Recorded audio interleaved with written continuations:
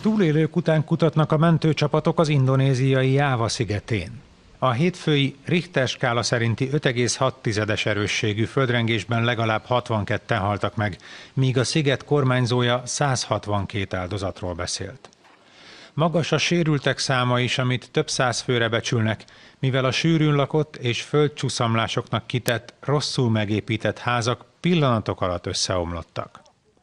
A mentők egész éjszaka azon dolgoztak, hogy megpróbálják megmenteni a romos épületek alatt rekedteket.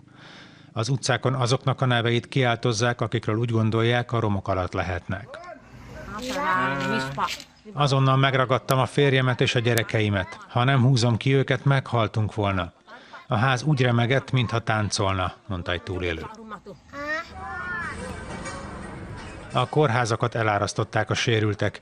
Közülük sokakat az utcán ápolnak, ellátásukat az áramkimaradások nehezítik. A hatóságok szerint több mint 50 oktatási intézményt, köztük 30 általános iskolát érintett a katasztrófa, ezért az áldozatok között sok a gyerek.